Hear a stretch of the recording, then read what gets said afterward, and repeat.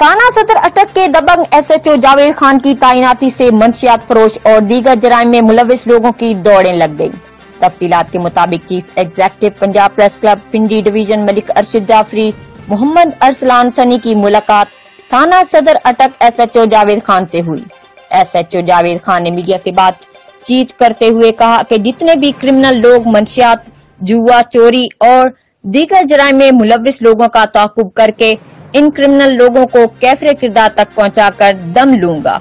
किसी भी मुजरिम से कोई रियायत नहीं होगी। डीपीओ अटक की हिदायत के मुताबिक तमाम क्रिमिनल लोगों के खिलाफ कार्रवाई अमल में लाई जाएगी। और मैं मीडिया पर्सन से रिक्वेस्ट करता हूँ कि पुलिस के साथ ताउन करें और जुर्म को बेनकाब करने में पुलिस की मदद करें।